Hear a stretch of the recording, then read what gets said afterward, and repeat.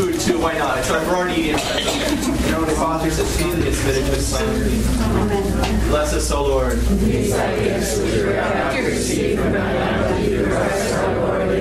O Master who loves mankind, illuminate our hearts with the pure light of your divine knowledge and open the eyes of our mind to understand the teachings of your holy scriptures. Instill in us also the fear of your blessed commandments that we may overcome all carnal desires train upon a spiritual life and understanding and acting in all things according to your holy will. For you are the enlightenment of our souls and bodies, O Christ God, and you will be glory together with your Father, your all holy, gracious, and life giving Spirit, both now and ever and unto ages of ages. Amen. Amen. In nomine Father, Filii, Spiritus Sancti. All right. Um, for those that are here for the first time, welcome. And uh, how many are here have not come to adult education stuff here at St. John's this year at all? Okay, well, welcome. We have a full-time thing going on now, and uh, and you can be caught up to speed here with this series because we're going to be kind of bringing together some of the stuff we've done in some past series. I don't know if that's the right word. Right, we did in the beginning our Genesis 1 through 3. We've done uh, Heaven on Earth. Uh, and then we did our salvation history study. And I'm going to bring those together. And we had one before that we don't have a poster for. But I'm going to be bringing some stuff together, especially here in the first uh, seminar uh, that we've done in the past. We get some new things too. But we're going to be covering some ground that we've covered in the past to bring everybody up to speed. Um, I will be building upon what we've done before. So if you come now but you missed the second one, you come for the third one, you're going to be a little bit lost. Okay, so I encourage you to just, or the, we have four. I encourage you to go all of them. If you can't go to all of them, we're recording it. You can pick it up off the internet. There is our internet site that you can pick it up off of. It'll be up like a week after our talk. Okay? All right. First of all, before we get started with this particular series, Eden to Eden, the Garden, the Temple, and the Catholic Church, um, we're going to look, I, I want to just quickly review for five minutes what we did in our last series, our Salvation History series our salvation history series, going through the whole Bible in seven weeks. It was a lot. But we got certain principles down which are necessary in order to go into the New Testament. And actually, this is going to be our first series that I'm doing with you guys that we're going to actually enter the New Testament. And we're going to do that on the last talk. Okay? So, just as a way, by way of review, um, give me some names. Adam. Good. And then? Melchizedek. Seth, Enoch, Enoch, Noah, Noah, Shem, Shem, who is who? Melchizedek. I don't know how to say it. Okay, who's next? No, well, who's next guy of the covenant? Okay, Abraham. Abram becomes Abraham, okay? Isaac. Jacob. Jacob. Jacob becomes. Jacob becomes Israel. Okay, who has what? 12 sons, right? And his son who receives the covenant blessing is? Judah. Okay, and Judah ends up being the tribe from which what great man comes? Let's skip a bunch of people here. David. David. And David's son is? Solomon. Solomon. And who's next? Jeconiah. Some of you are going, Jeconiah, Jeconiah. And Jeanette, Jeconiah is the same person as Jehoiakim. Jehoiakim, I don't know, something like that. Okay, and then they, and then who's next? Zerubbabel. Zerubbabel, I can try. Who's next? How about Jesus? Okay, Joseph and then Jesus. Now, and the reason I want to put this up here real quick for you guys is that um, I know I've been skipping a lot of people, so if you guys are pointing out, that's good. You skip this guy, that's okay. Just as long as I'm not out of order. Now, the other thing I want to do here is while we look at this list real quick, what are our major events that happen? First of all, we have creation. What's our next major event? The flood. What's next? How about Abraham's calling? Okay, to the he goes to the promised land. How about creation and the fall? Somewhere we missed Yes, we should have the fall. Absolutely, we'll talk about that today. The call- woman to say that? the calling. Whoa, there's two eyes there. Okay, the calling. What else? What happens here? Exile The exile, right? They sell their brother into Egypt, and so they go into, into Egypt as slaves. Okay, what's next? How about the Davidic covenant? Okay, what's next? Babylonian exile. Okay, and then Zerubbabel. Two kingdoms. Well, we had a split of the kingdoms way back in somewhere in here, right, with uh, Rehoboam and Jeroboam. Zerubbabel returns. Rebuilding the temple. Yeah, and returned from Babylon, rebuilding the temple, and then finally we get Jesus. Okay, good. But keep those things in mind. If you guys, if you ha- weren't here, how many were not here for the other series that we did? Okay, well there you go. Now you were. that took us seven classes. to remember that.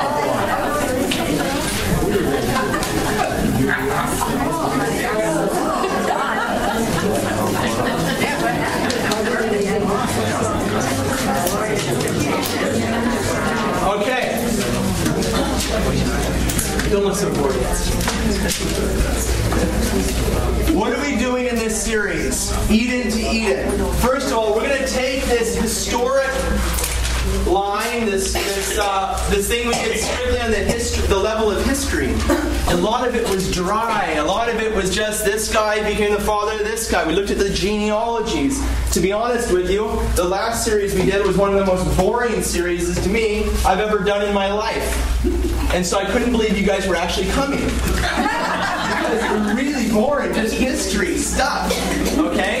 So what we're gonna do is we're gonna have more fun this time than we did last time, and we're gonna slow it down a little bit, and we're gonna look at the story of God, the working of God behind this story of man. We looked at all the terrible stuff that was going on, the wars and the all that stuff. And at some point, I mean, I know I talked to some of you guys and you said, uh, this is terrible. And, and this doesn't sound good. How can this be the Bible? How can, well, we're going to see. Because behind all of that story, God works and continues to work. And he continues to work to bring about the salvation of mankind. Okay? And we're going to look and see what that looks like behind that historical genealogy, that storyline. Okay? To see the handwriting of God behind the handwriting of man. Okay? Turn to Romans chapter 5. Romans is in the New Testament after Acts of the Apostles. You have the Gospels, Acts, and the Romans. While you're doing that, if you didn't bring your Bible, shame on you because you should have your Bible everywhere you go. Carry it. ev- Do any of you carry your Bible everywhere you go now? Please start. Oh, come on, Annie, come on, please. Look, let me tell you right now. If you meet somebody in the street and they know about Jesus, and they and they say, "But you're a Catholic," and you know, oh, I know that Catholics don't read the Bible. That's where you find out about Jesus. And you don't have a Bible on you. God is going to judge you on that. It's true. What if some of us have memorized it like St. Augustine? Yeah, you memorized it. That might be nice, but you know what? Many people among us today, sadly to say, separated brethren, they want to see the text in front of them. They're not going to believe your mouth going like But this. they're not going to accept your text either. Because there's the King James, and there's the Septuagint, and there's the. If you don't want to carry carry a Bible with you, that's fine. I'm here to tell you that I have, in the last five years, used my Bible on the airplane, on the bus, at the bus stop, in the middle of the city, in the grocery store, in my truck.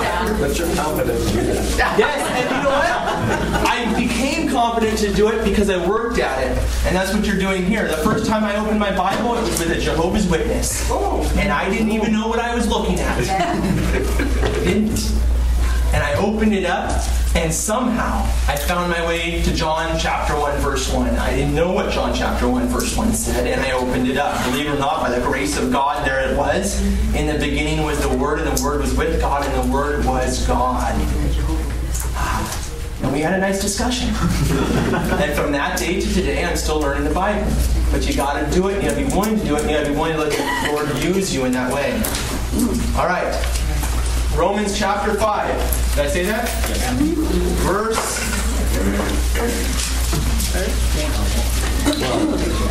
Chapter 5, verse 12. Mark, you want to give us that reading there? Therefore, just as through one person sin entered the world, and through sin death, and thus death came to all, inasmuch as all sinned.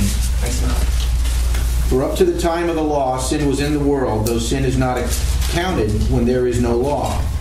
But death reigned from Adam to Moses, even over those who did not sin after the pattern of the trespass of Adam, who is the type of the one who was to come. Okay, read me that last phrase again. Who was? Who is the type of the one who was to come. What does he mean by type? What does St. Paul mean that, well, who is the type of who? What's he talking about? Jesus, Adam. Adam was a type of? Adam was a type of Jesus. What does he mean?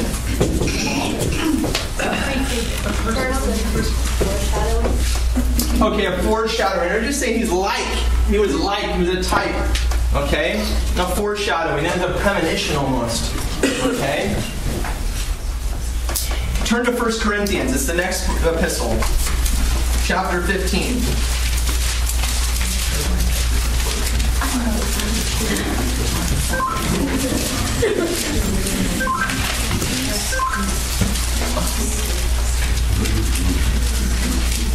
First Corinthians chapter 15, verse 20. Verse 20.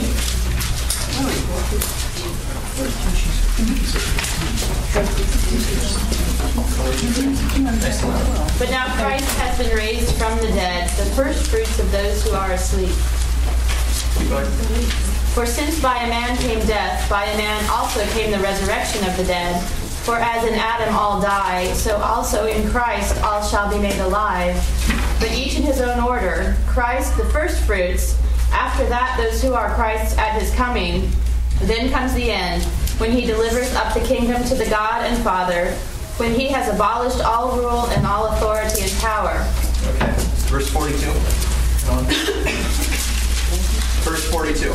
So also is the resurrection of the dead. It is sown a perishable body, it is raised an imperishable body. It is sown in dishonor, it is raised in glory. It is sown in weakness, it is raised in power. It is sown a natural body, it is raised a spiritual body. If there is a natural body, there is also a spiritual body. So also it is written the first man, Adam, became a living soul. The last Adam became a life giving spirit. However, the spiritual is not first, but the natural, then the spiritual. Okay, so again, this contrast with the old Adam and Christ. I'll read you St. Peter's Chrysologus. St. Paul tells us that the human race takes its origin from two men, Adam and Christ. The first man, Adam, he says, became a living soul. The last Adam is a, li- is a life giving spirit. The first Adam was made by the last Adam, from whom he also received his soul to give him life. The second Adam stamped his image on the first Adam when he created him. That is why he took on himself the role and the name of the first Adam, in order that he might not lose what he had made in his own image. Okay? Why do we call Christ the second Adam or the new Adam? Why? Why? From what we just read, what I just read you this quote, why do we call Christ the new Adam or the second Adam? He's life giving. Okay, he's life giving. What do you mean by that? Well, with Adam, he fell. He died. Sin was created. And with, with Jesus Christ, um, he became the resurrected of, of the man that had fallen. So there's this reversal or a restoration in Christ of what happened in Adam. Why else? Well, it said- it says that Christ's image was created in the first Adam, his image being intellect and will. I mean, the, the fact that God's image is in man, and Christ, so that that image would not be lost, redeemed man. I mean, he made, he stamped Okay. his image in man. He, in his likeness, he created him. Okay, so in the beginning, God created man in the image and likeness of God. Okay? Jesus Christ being God is that image and likeness after which we were patterned. He is the pattern after which we're patterned. Okay? Therefore, when the pattern becomes man, when the image becomes man, he now is can be said to be like Adam before the fall, or rather, more properly, Adam before the fall was like Christ. Okay? A human being who was in the image and likeness of God, a partaker in divinity. Okay?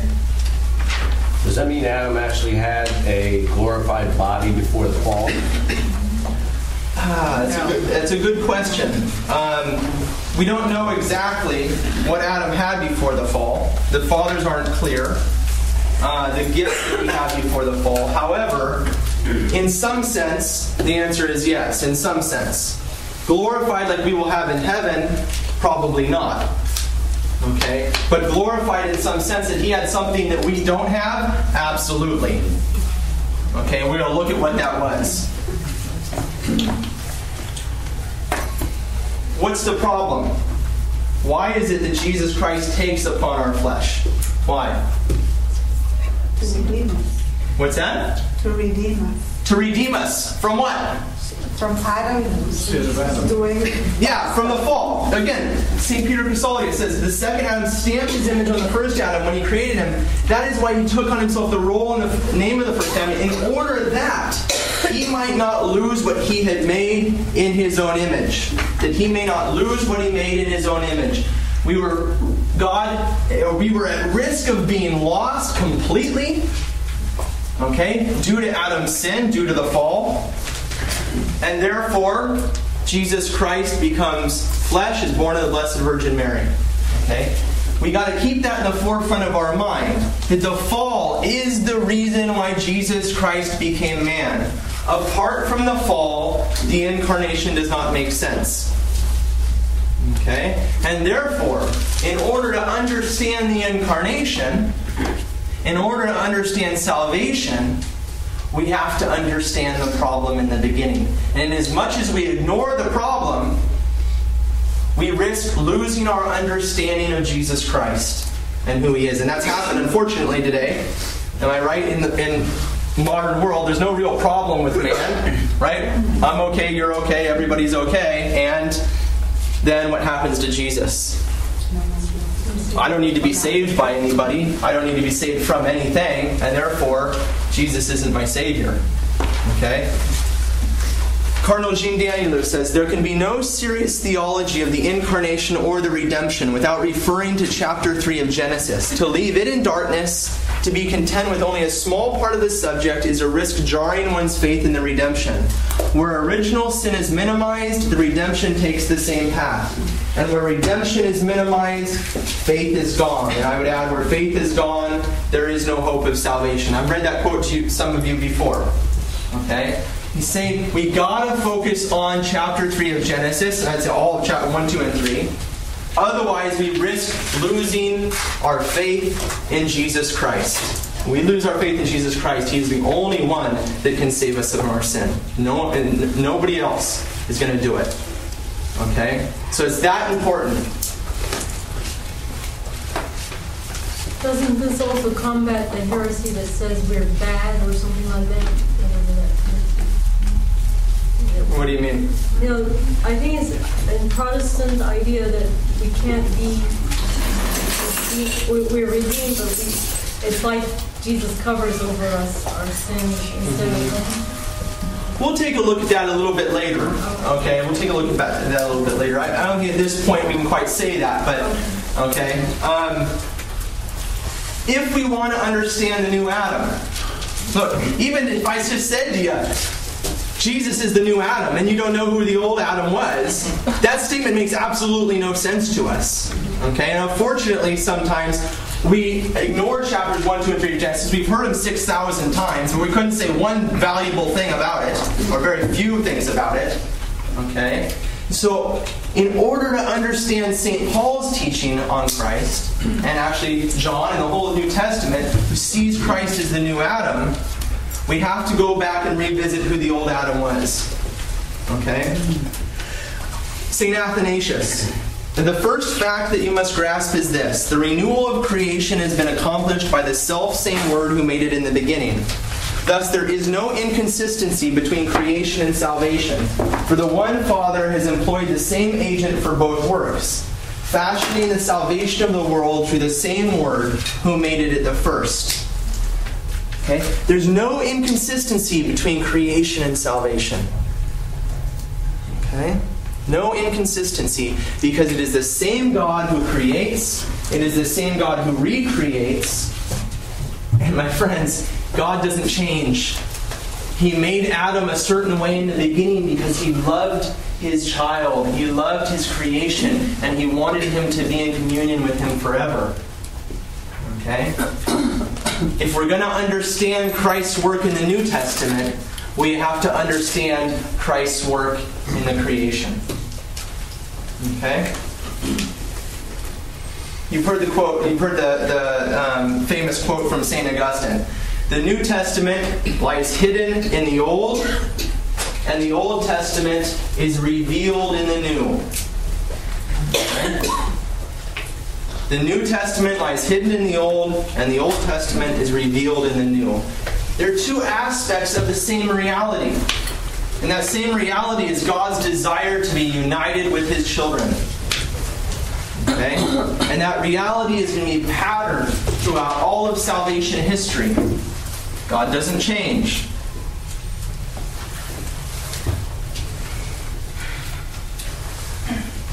Dr. Richard France says there's a consistency in God's dealing with men. Thus, his acts in the Old Testament will present a pattern which can be seen to be represented in the New Testament events. These may therefore be interpreted by reference to the pattern displayed in the Old Testament. New Testament typology. New Testament typology is thus essentially the tracing of the constant principles. Come on, you're right. The tracing of the constant principles of God's working in history.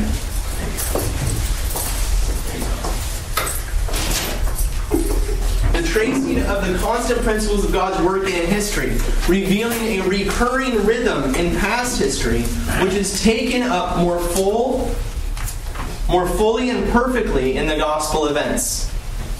Okay? There's a certain pattern to God's work with man.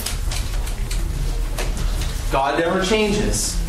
And therefore, whenever we come into contact with the mystery of God, we're going to see the same thing. Salvation history is a big old long book, and it even continues today. It continues past this book God's dealings with men. But the picture, the story which is told, is the same story. Over and over and over and over again, the same story. With a whole string of different men. Okay? What we're going to do is we're going to look at that story. Look at John chapter 1, verse 1. Anson, you don't have to turn it off. John 1 1.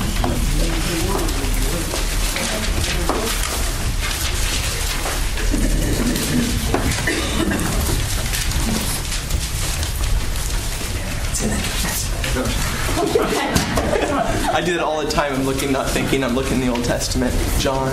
I did that today with the sisters. I teach the missionaries of charity on Tuesdays, so if I wipe out in the middle of this thing, you'll understand why. John 1 1. Yeah, it's, uh, I do. Yeah, go ahead. and forgive you. In the beginning was the Word, and the Word was with God, and the Word was God. He was in the beginning with God. All things were made through him, and without him was not anything made that was made. In him was life, and the life was the light of men. The light shines in the darkness, and the darkness has not overcome it. Okay, in the beginning, where have we heard that before? Genesis. In the beginning was the Word. And the Word was with God, and the Word was God. He was in the beginning with God, and all things were made through Him, through the Word. In the beginning, what did God do? He spoke, and creation came into being.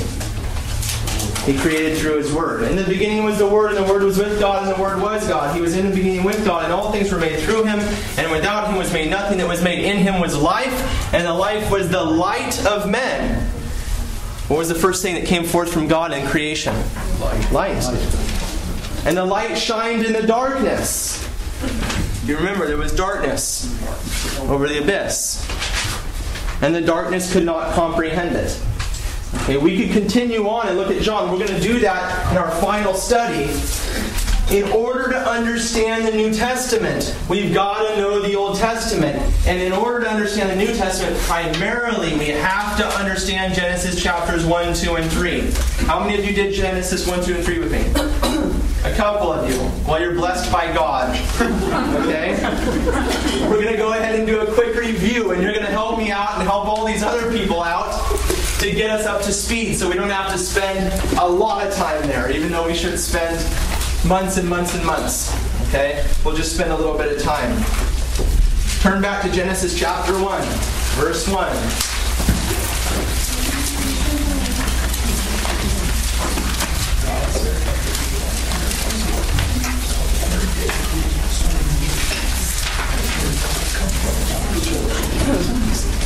Annie, you want to read that for us? In the beginning, when God created the heavens and the earth, the earth was a formless wasteland, and darkness covered the abyss, while a mighty wind swept over the waters. Then God said, Let there be light, and there was light. God saw how good the light was. God then separated the light from the darkness. God called the light day, and the darkness he called night. Thus evening came, and morning followed, the first day. Then God said, Let there be a dome in the middle of the waters to separate one body of water from the other. And so it happened. God made the dome, and it separated the water above the dome from the water below it. God called the dome the sky. Evening came, and morning followed the second day. Who's asleep so far?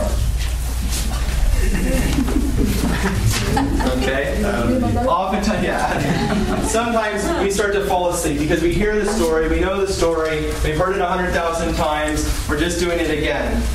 Okay.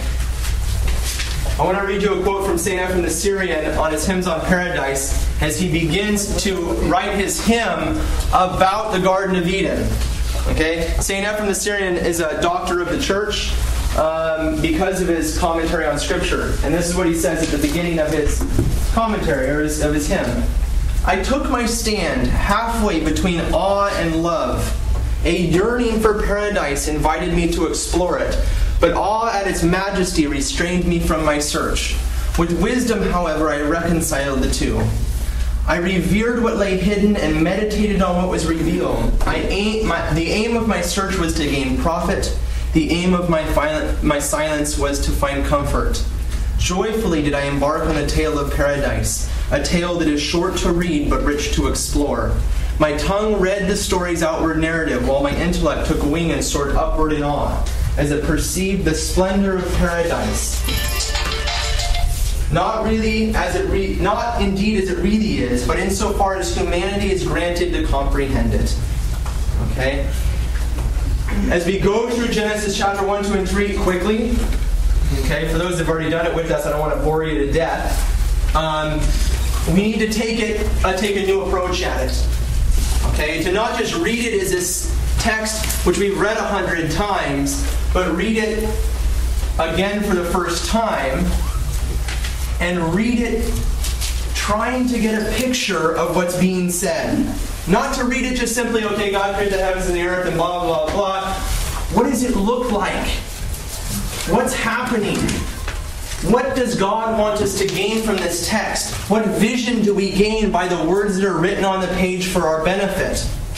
Moses, by tradition, wrote this text for a people that they believed were chosen by God. I believe they were too. Chosen by God to save the world, to bring about salvation.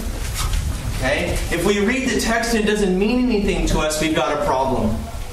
And it's possible that we're approaching it just from the wrong vantage point. Okay, like I said a hundred times in our last series, we read it like the newspaper article, and pretty soon it gets boring and we put it down. Okay? Instead, we should be reading it as a story, as our story of the chosen people of God, as God begins his creation, his plan for mankind. There's nothing there by accident. Nothing. Every detail of the of Genesis 1, 2, and 3 especially is there for our salvation. Every detail. And so it's necessary that we take a close look at that. So we read Genesis chapter 1, verse 1, 2, and 3. First of all, I want to pull out a couple of things for us from that text. Let's read it one more time. It's okay. Genesis 1.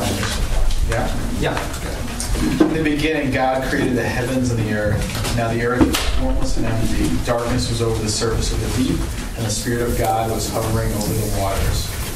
And God said, Let there be light, and there was light. God saw that the light was good, and he separated the light from the darkness. Okay, DJ, there's uh, soup in the hallway if you want any. Right out here. Thank you. All right. Everybody say hi to DJ.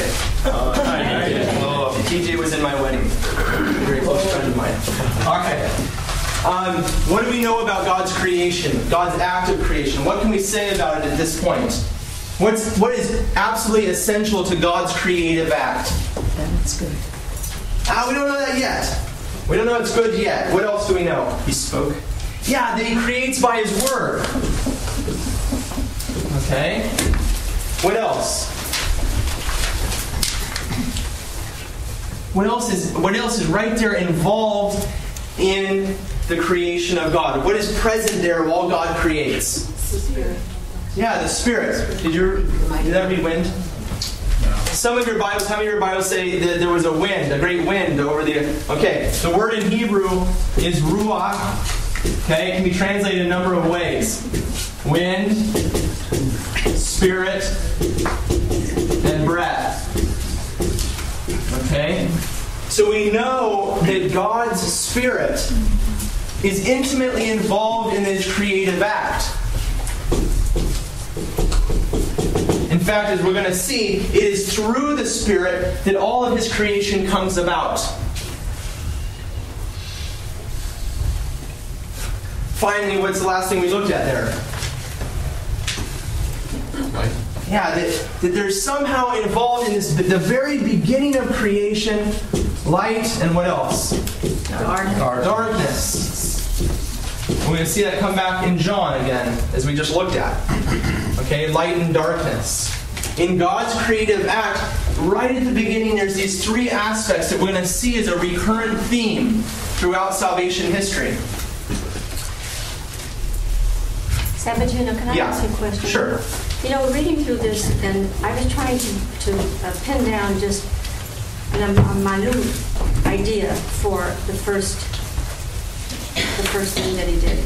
And I got so confused because first you see the heavens and the earth, and you see the darkness, and you see the light, and I'm thinking to myself, well, if you, if you wanted to put that into a message and just say two things that happened that first day, what would you do? What would you say? Light and dark? What happened the first day? Yes. God spoke and light came into existence. And dark also. Well, there appears it's, it's a good question. You're struggling with what's Yes. what's before the first day and what's in the first day. Dark was there. And uh, we, what we don't want to do with Genesis, especially, especially the first three chapters, is to try to stretch them to say more than they're trying to say, to give a biology lesson. Moses wasn't interested in giving a biology lesson. As far as I'm concerned, it's a fine biology lesson he does give us, but that's not his point in the text. So, where this darkness comes from. For, what's that? It was there. Yeah, but is darkness something which is uh, uncreated in a sense? The uncreated God condemned in the early church. What was that? Darkness doesn't exist. It's the absence of something. Good. All right. Darkness is the absence of light. Okay. If I turn off the lights in here, it's not like I turned on darkness. Okay. When you look at that, it's the same with the grace of God and sin. It's the same parallel. Okay, right in line with this light and darkness thing. Throughout the scriptures, we see those two things parallel grace and sin, and light and darkness. Okay?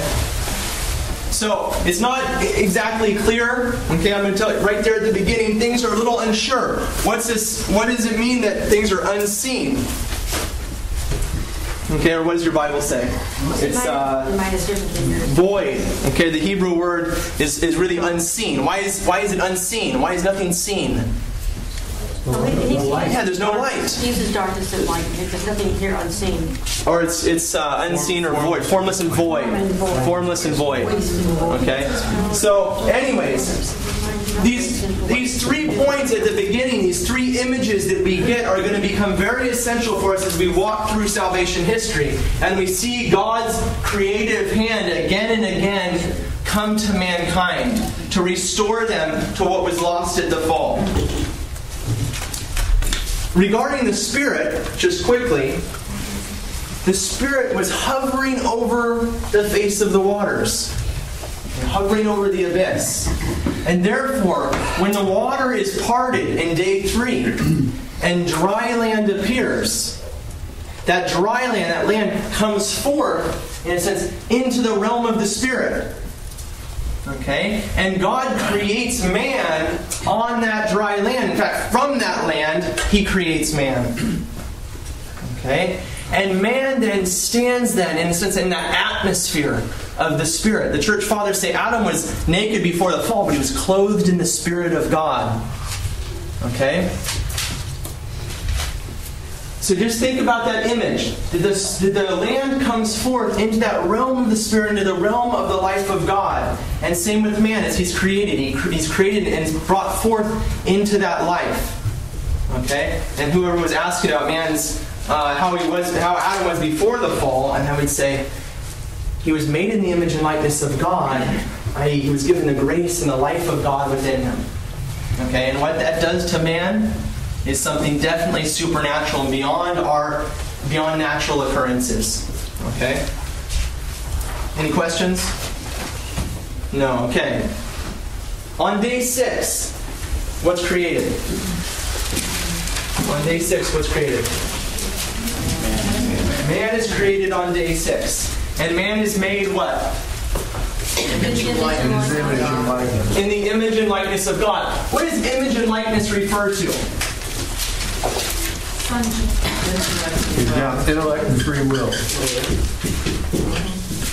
Well, I've got three answers so far. What's it refer to? First of all, the church fathers.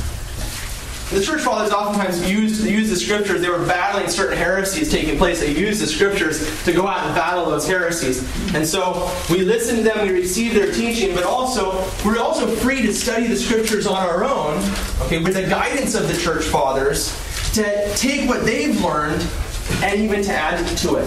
The, the scriptures are infinite, they're the Word of God, and so the depth of our study is unending. We could, we'll never end studying the Word of God because the Word of God is Jesus Christ Himself, and Jesus Christ is divine, and divinity is infinite.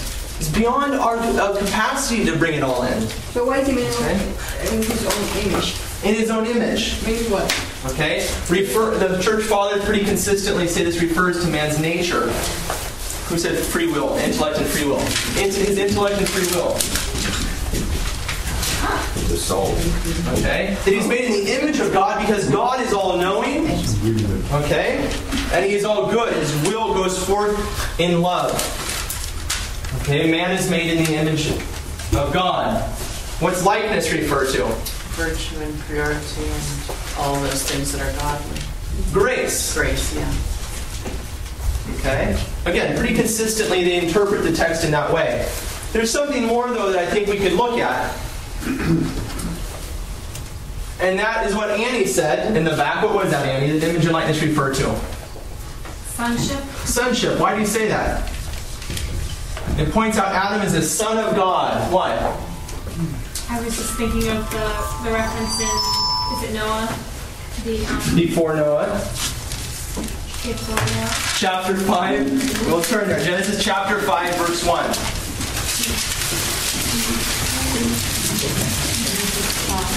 Chapter 5, verse 1.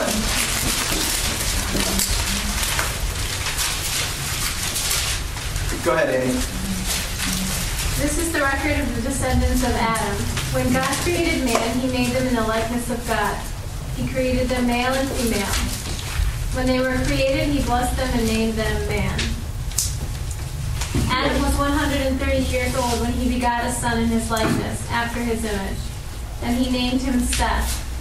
Adam lived 800 years after the birth of Seth, and he had other sons and daughters.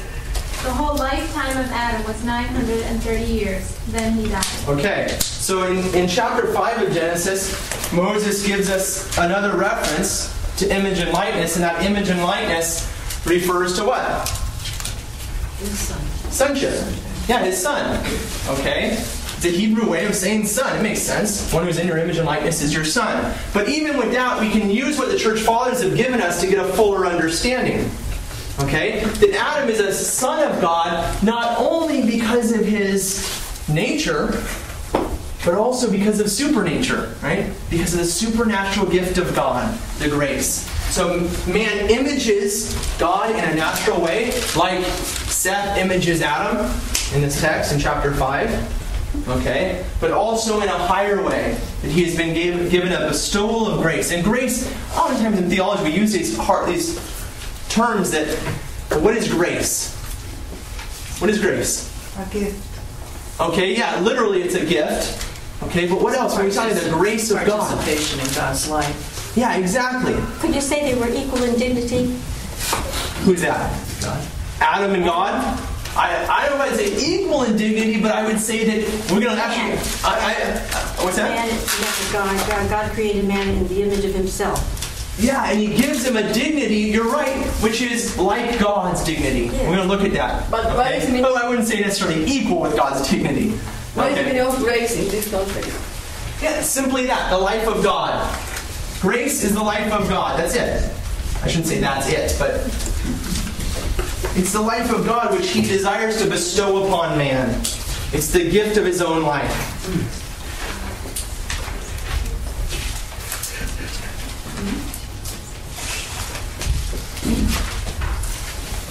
What's man told to do in the beginning? Don't worry. Have the. What's he told to do? Yeah, be fruitful and multiply. What else?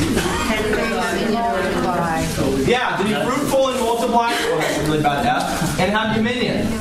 Okay? So it's not like God just says to man, man ah, I made you in your image and likeness as, as my son, that's it.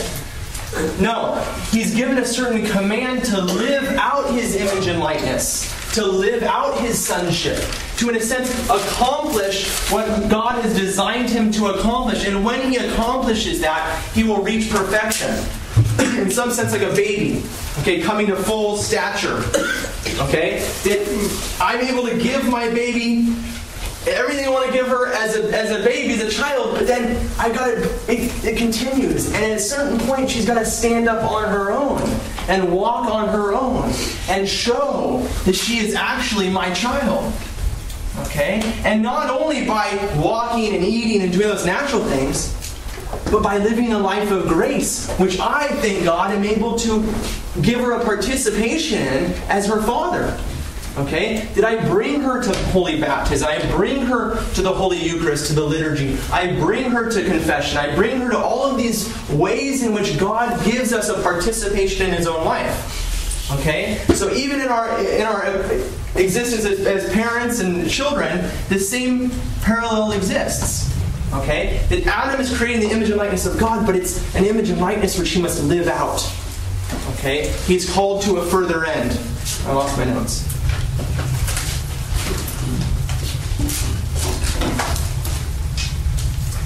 Uh, Sedona the Syrian, a church father, says, like a living sacrifice suitable and pleasing to God, he employs his body for rational service.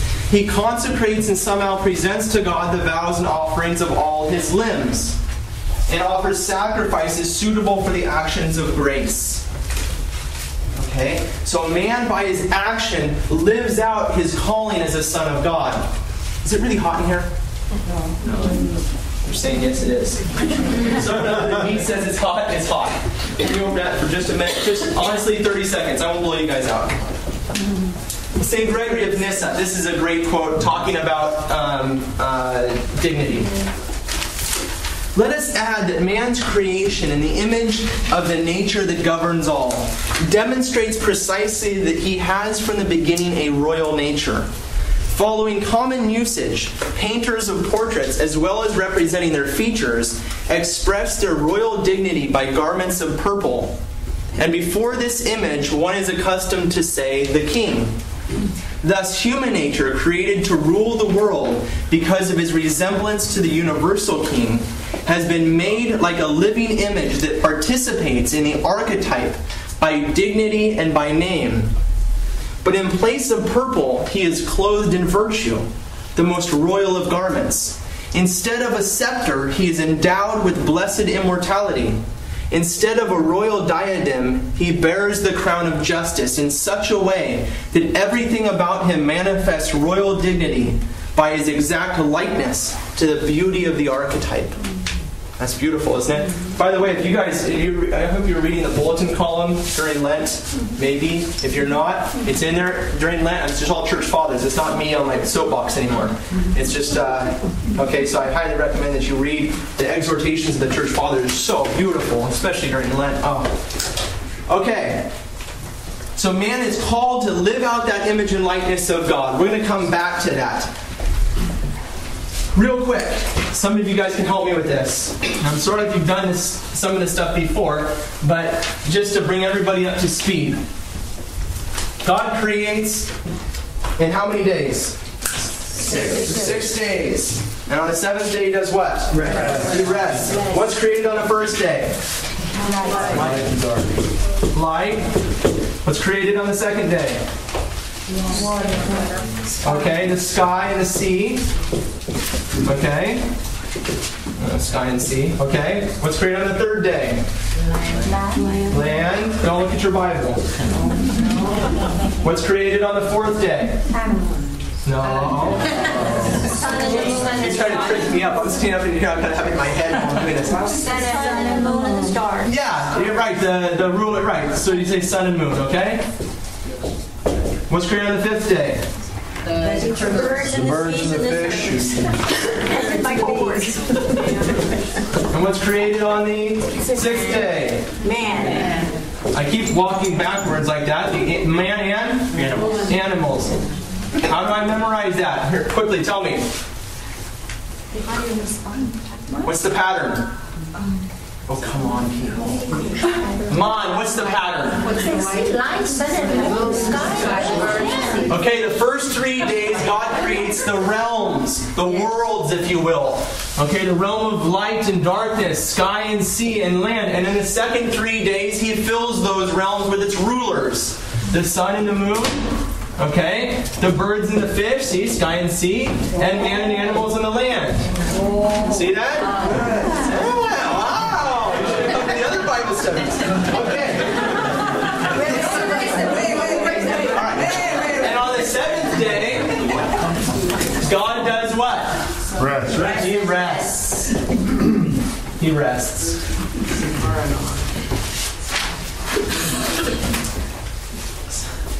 Don't get bored, Anson. Anson's been in this Bible study like six times. and then like another five times with my brother. So, all right. Why does God create in seven days, Annie? Because seven is an oath. Seven is no. Wow. Come on, come on. Look, give us more. What do you mean seven's an oath? What? Perfection. Seven means perfection. Really? Okay. Why does seven mean perfection?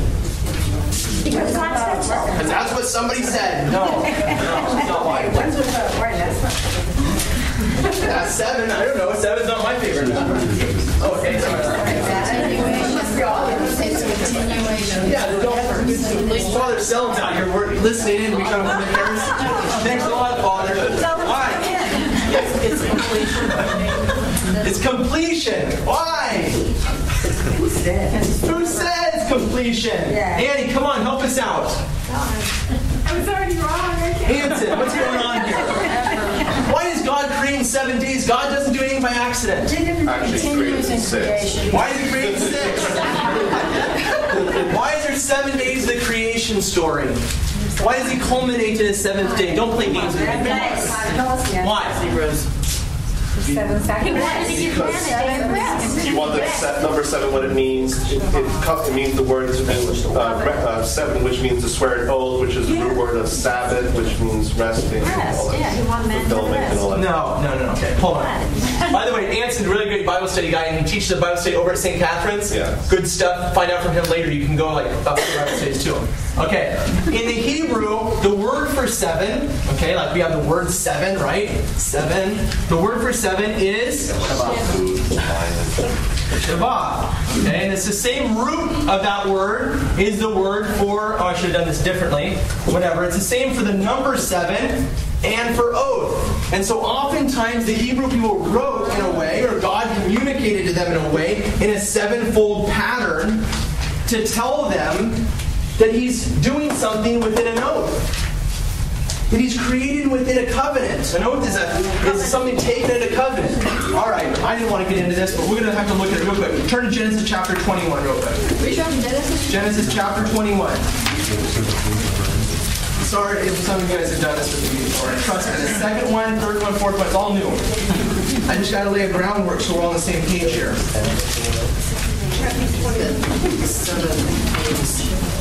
Chapter 21, verse 22. Chapter 21, verse 22. I'm going to read something really fast. At that time, Abimelech and Phicol, the commander of his army, said to Abraham, Abimelech's another guy out there dwelling around the same area as Abraham. It says to Abraham, God is with you in all that you do. Now therefore swear to me here by God that you will not deal falsely with me or with my offspring or with my posterity, but as I have dealt loyally with you, you will deal with me and with the land where you have sojourned. And Abraham said, I swear. When Abraham complained to Abimelech about a well of water which Abimelech's servants had seized, Abimelech said, I do not know who has done this thing. You did not tell me, and I have not heard of it until today. So Abraham took sheep and oxen and gave them to Abimelech, and the two men made a covenant. Abraham set seven ewe lambs of the flock apart, and Abimelech said to Abraham, What is the meaning of these seven ewe lambs which you have set apart? He said, These seven ewe lambs you will take from me from my hand, that you may be a witness for me that I dug this well. A witness. Therefore, the place is called Be'er Sheva. Okay, or with a B. Sheva, it's, interchangeable, B or a B. Okay? Be'er it simply means well. It's the well of swearing or the well of oath. And to show Abimelech, to show forth what's taking place as a sign of the covenant, Abraham takes seven new lands. Not eight, seven. Because the root of the word literally shows forth to Abimelech covenant. Okay? And so God creates in the beginning in a sevenfold pattern he creates within the confines of seven days in order to tell us, to communicate to us, or to the Hebrew people, that He's not just a, a God separated from His creation, but He's a God which desires to be unified with His creation, to be joined as one with His creation, to form a covenant bond with His creation. And when a covenant bond is formed, the two parties become one. Okay? The two parties become one. Where else have we heard that? Two becoming one. Regarding marriage, yeah. David Chilton says God's relationship with Israel was always defined in terms of the covenant, the marriage bond by which he joined her to himself as his special people. How many times in the last series did we hear Israel called a harlot? Okay? Because of that marriage covenant between God and his people. Okay? All through the scriptures, there's references. God speaking to Israel like his bride, okay, or like the harlot who left him. That seventh day, what happens on it? God rests. Now, man is what? Again, remind me about man. Who's man? Image Made in the image and likeness of God. And therefore, what do we know about man on the seventh day? Help me, come on. Don't make me repeat this for the 600. He's already created. Yeah? Yeah, he's called to incorporate, brought into that rest of God on that seventh day, that day of covenant. Man is made to enter into the covenant with God on the seventh day. Okay, to be joined to him.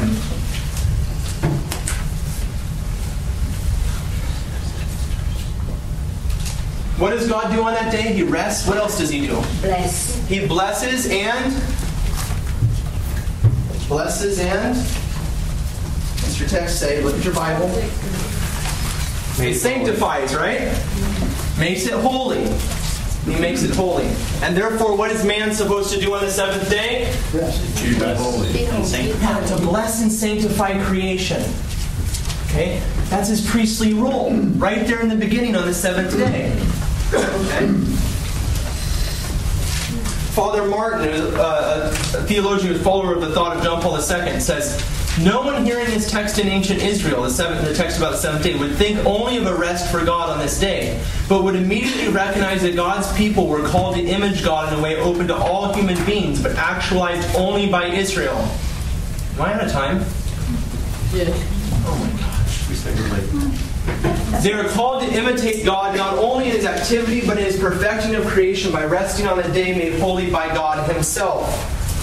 Okay? So look, man is created at the pinnacle of creation, but man is made for the seventh day. And on that seventh day, he's to fulfill, to become what God made him to become.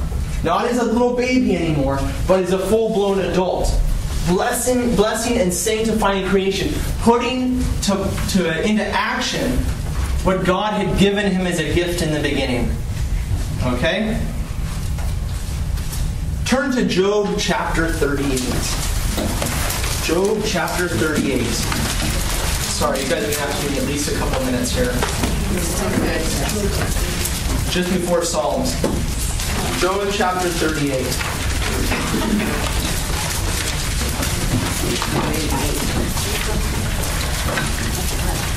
What is up there? What?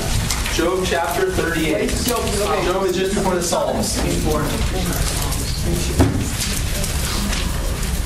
Whenever God speaks of his creation, his creative act, he speaks of it in certain terms in the scripture. He uses certain images.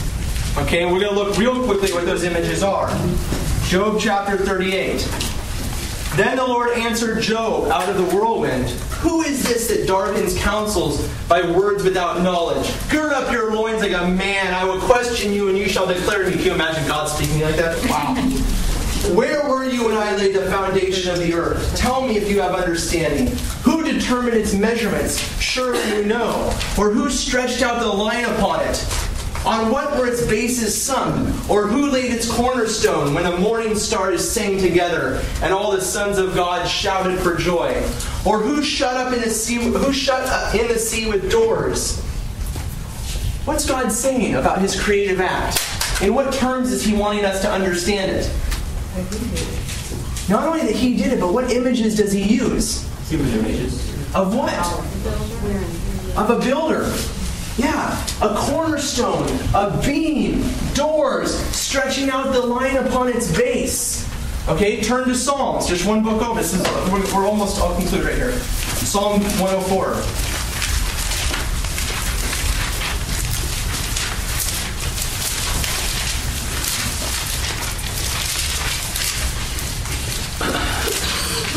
Psalm 104. If you have a your readings, it's 103. Bless the Lord, O my soul. O Lord my God, thou art very great. Thou art clothed with honor and majesty.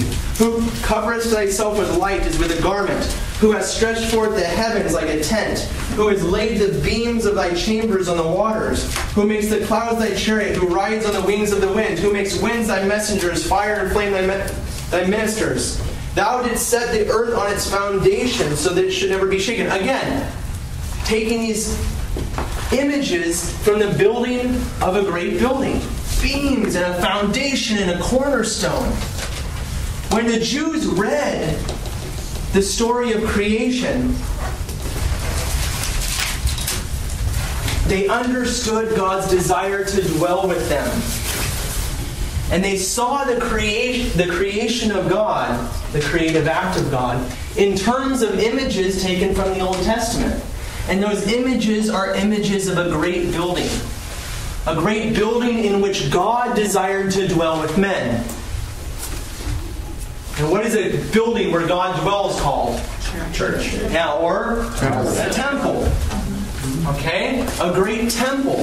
And so in the beginning, the Jews were accustomed to seeing the creative act of God as the creation and the building of God's temple. God's temple on earth, where man would be invited into the presence of God and be transformed into Him.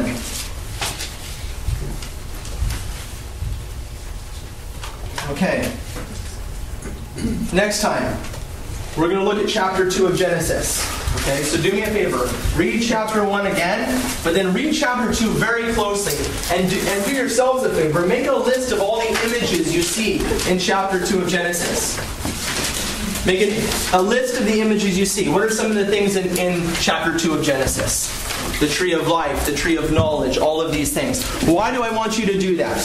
Because very shortly, okay, next next class is we're going to get through chapter 2 and chapter 3. We're going to venture out of the Garden of Eden. And God's plan for mankind will not change. The question is whether man will come into the presence of God again. And every time man comes into the presence of God again, guess what we're going to see? We're going to see the same plan of God to restore man to his place before the fall. And so if we don't recognize our home back in chapter 2, and we venture out in the rest of the sacred scriptures, we're going to get lost. We won't know what to look for. But if we have those images before us and we go out into the story of salvation history with those images before us, looking for our ancient homeland, suddenly we're going to see over and over again God rebuilding his home with his people. And finally, and most importantly, when the Savior comes to restore us to what we lost, we will see that home fully restored. Okay? So, I'll see you guys next time. Don't forget the soup, whoever is going to bring it. And uh, let's conclude in prayer. And bring your Bibles next time. And bring more friends, too. We got plenty of room.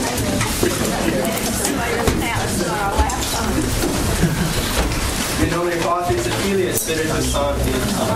Glory be to the Father, and to the Son, and to the Holy Spirit. In nomine Patris et Filii et Spiritus Sancti. Thank you all for coming out a good night.